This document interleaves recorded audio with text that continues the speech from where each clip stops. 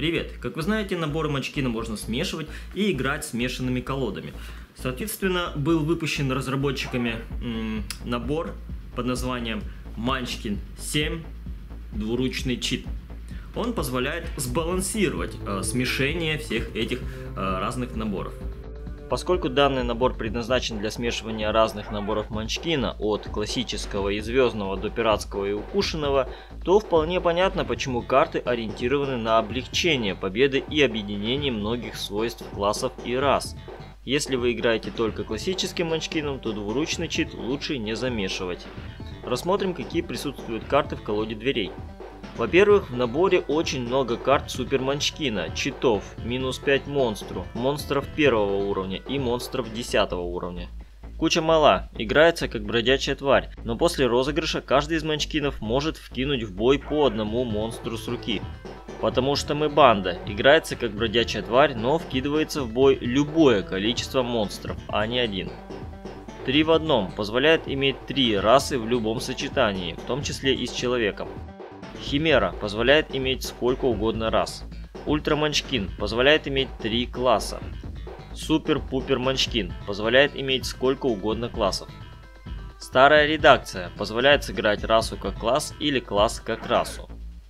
Империя наносит ответный удар. Разыгрывая карту после боя, можно воскресить всех убитых монстров с их усилителями и заставить Манчкина драться с ними снова – может быть полезно, чтобы добить Манчкина, либо напротив, чтобы воскресить против себя легкого монстра и получить еще один уровень за повторное убийство.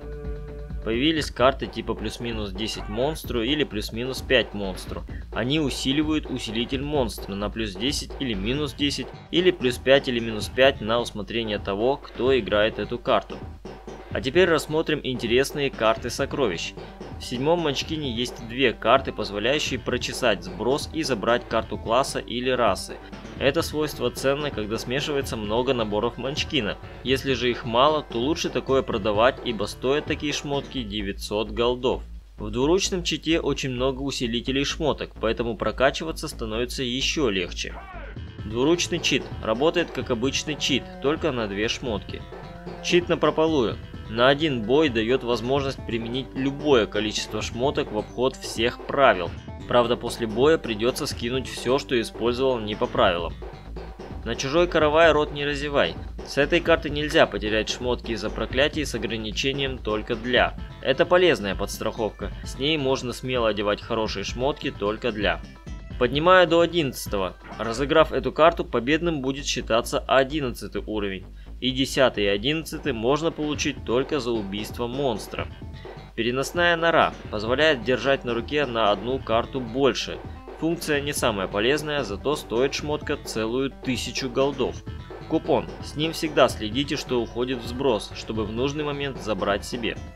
Пенни везенни. Когда кто-то теряет шмотку из-за проклятия, вы можете скинуть пенни и забрать эту шмотку себе. Только представьте, противнику будет вдвойне обидно не только потерять хорошую шмотку, но и понимать, что ее потом забрали за монетку. Натасканная моль. В Манчкине есть особые вещи, реальные, типа футболки, газировки, бейсболки, которые позволяют в настолке иметь какое-то преимущество. Это опциональное правило, но если вы его используете, то тут моль может вам помочь.